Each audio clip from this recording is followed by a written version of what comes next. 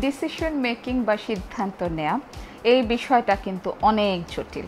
অনেক মানুষই আছেন, সিদ্ধান্ত নিতে অনেক বেশি কনফিউজ থাকেন, দ্বিধাদ্বন্দ্বে ভোগেন, কোনটা করবেন বুঝে উঠতে পারেন না।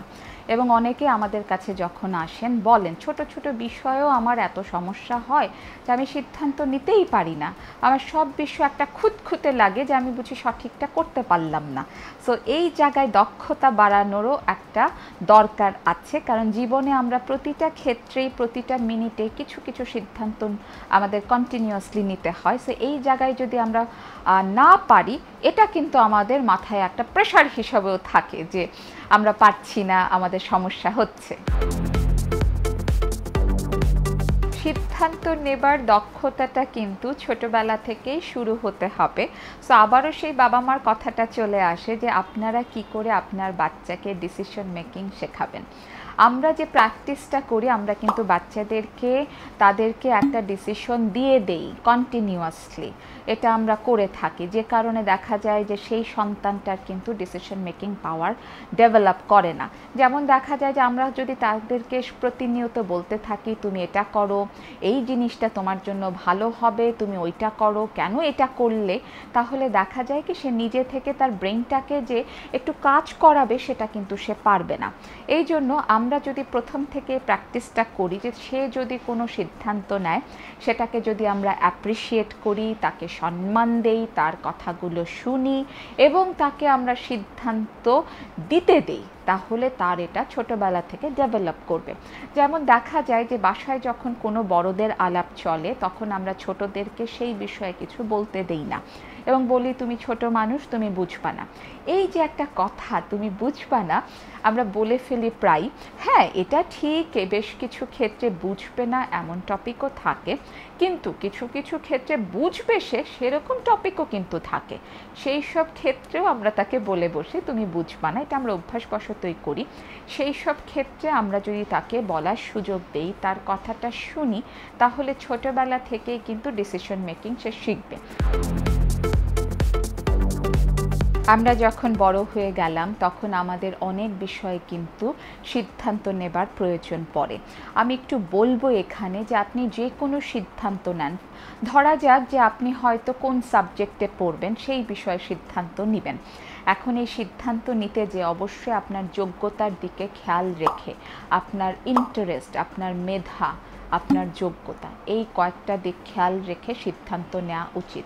অনেকেই আমরা কি করি? যে আমরা কোন বিষয়ে পড়ব সেটা আমাদের বাবা মা ঠিক করে দেন, অথবা সোসাইটিতে কোন সাবজেক্টটা এখন পড়লে লাভবান হতে পারব, কোনটা আমার পড়লে ভালো হবে সেটা আমার সোসাইটি ঠিক করে দিচ্ছে। এখানে যেটা দেখা যাচ্ছে যে কেউ যদি এমন কোনো সাবজেক্টে পড়ালেখা শুরু করেন যেখানে তার ইন্টারেস্ট নাই অথবা সেখানে তার মেধার একটু ঘাটতি আছে বা আগ্রহর একটু ঘাটতি আছে, সেখানে কিন্তু সে সাকসেসফুল হবে না। তাকে অবশ্যই সিলেক্ট করতে হবে সেই সাবজেক্ট যেটা তার যোগ্যতা অনুযায়ী ম্যাচ করে, তার যে ইচ্ছা, আকাঙ্ক্ষা ইন্টারেস্ট আছে, সেই অনুযায়ী সোসাইটির তালে ভাসলে কিন্তু আপনি ভালো করবেন না। আমরা জীবনে চলতে চলতে অনেক সমস্যার সম্মুখীন হই। সেসব ক্ষেত্রে আমাদের সিদ্ধান্ত নেবার প্রয়োজন পড়ে। আমরা দেখা যায় যে অন্যের কথা শুনে অন্যের বুদ্ধি অনুযায়ী সিদ্ধান্ত নেবার চেষ্টা করি। কিন্তু সেটা না করে পরিবেশ, পরিস্থিতি উপযোগী সিদ্ধান্ত নিতে হবে।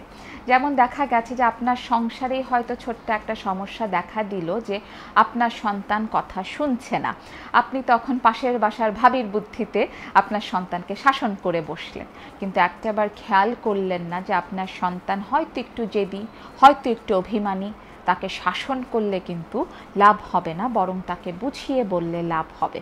এই জন্য প্রত্যেকটা ক্ষেত্রে যখন ডিসিশন নেবেন, পরিবেশ পরিস্থিতি একটু ব্যাখ্যা করেন, পরিবেশ পরিস্থিতিটাকে একটু অ্যানালাইসিস করেন, সেই অনুযায়ী সেই উপযোগী সিদ্ধান্তটা নেন। আমি অন্যের সাথে নিজেকে তুলনা করে সিদ্ধান্ত নিলে কিন্তু সঠিক হবে না। একই সিদ্ধান্ত আপনার লাইফে একরকম। আমার লাইফে আরেক রকম। সো আপনি আপনার পরিস্থিতি বুঝে সিদ্ধান্ত নেবেন, এটাই সঠিক। যেমন এখানে ছোট্ট একটা এক্সাম্পল দিই। আপনি যদি কোনো একটা জিনিস কিনতে যান, আপনি অবশ্যই সেটা অন্যকে দেখে কিনলে কিন্তু হবে না। তার টাকার পরিমাণ অর্থনৈতিক সচ্ছলতা আর আপনার অর্থনৈতিক সচ্ছলতা এক নয়। আপনার পছন্দ এবং তার পছন্দও এক নয়, আপনার প্রয়োজন এবং তার প্রয়োজনও কিন্তু এক নয়। আপনি অবশ্যই সেই জায়গাটায় আপনার অর্থনৈতিক সচ্ছলতার দিকে তাকিয়ে আপনি সিদ্ধান্তটা নেবেন। অবশ্যই আমরা তার সাথে তুলনা করে কম্পেয়ার করে বা প্রতিযোগী হয়ে সিদ্ধান্ত নিলে আমরা ভালো থাকব না। আপনি আপনার দিকটা দেখুন, আপনার চাহিদার দিকে নজর দিন, অন্যের সাথে তুলনা করে ডিসিশন নেবেন না। এতে ভুল সিদ্ধান্তই হবে। যে কোনো ধরনের ডিসিশন নেবার ক্ষেত্রে, সিদ্ধান্ত নেবার ক্ষেত্রে একাধিক প্ল্যান রাখার দরকার আছে।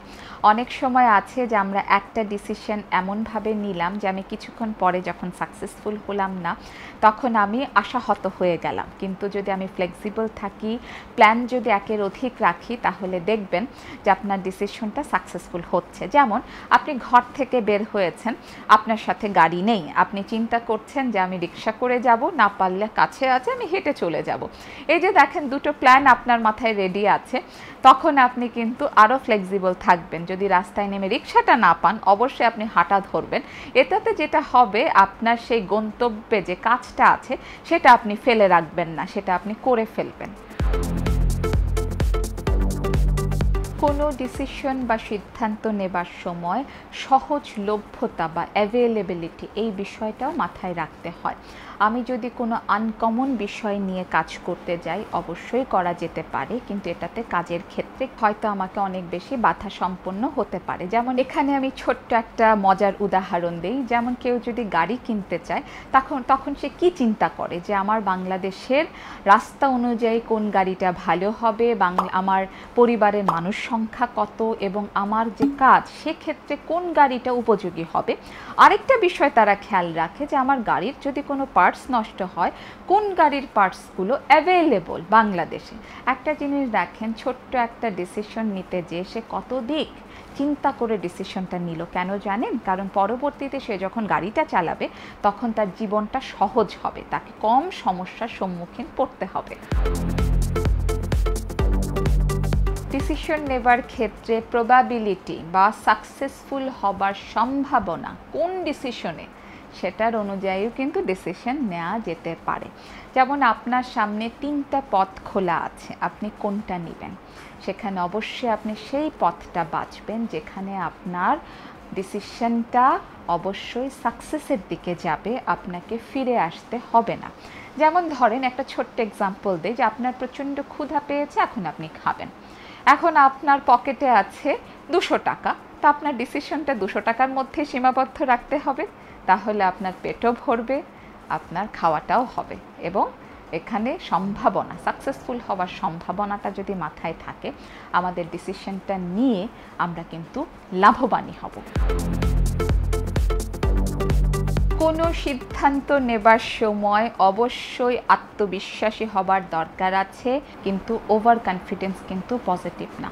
এটা অহংকারে পরিণত হয় এবং আমরা তো জানি যে অহংকার হচ্ছে পতনের মূল। সো ডিসিশন নেন অথবা যে কোনো কাজ করেন, অবশ্যই ব্যালেন্স দরকার আছে। এবং অবশ্যই আপনি আপনার লজিক দিয়ে ডিসিশন নেন বিশ্বাস হ্যাঁ বিশ্বাস তো থাকবে কোনো ডিসিশনের ক্ষেত্রে, কিন্তু অবশ্যই ডিসিশনটার পেছনে যেন লজিক থাকে। অনেক সময় আমরা আছি ইমোশনাল হয়ে কোনো ডিসিশন নিয়ে ফেলি, সেটা কিন্তু ভুল হয়। তো আমরা যদি ভবিষ্যতের কথা চিন্তা করি লজিকটা ব্যবহার করি, তাহলে দেখবেন যে আপনার ডিসিশন সঠিক হবে। আমাদের জীবন সহজ করব নাকি জীবনটাকে জটিল করব? এই জাদুর কাঠি কিন্তু আমাদের হাতেই আছে। সঠিক সিদ্ধান্ত নিন, সহজ সিদ্ধান্ত নিন, জীবনটাকে সহজ করুন, সুন্দর করুন, আর গুডি লাইফ সাবস্ক্রাইব করুন।